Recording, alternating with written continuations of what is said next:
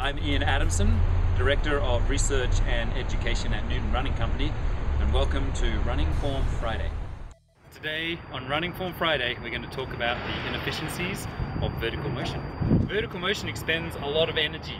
Uh, if you have a slow cadence, you're probably going to have something like this going on. Okay, this is running at about 160 foot strikes per minute, very typical. If you run with a high quick cadence, you see there's very limited vertical motion and very limited sideways motion. So, for efficiency, you can simply increase your cadence, which we've talked about in the past.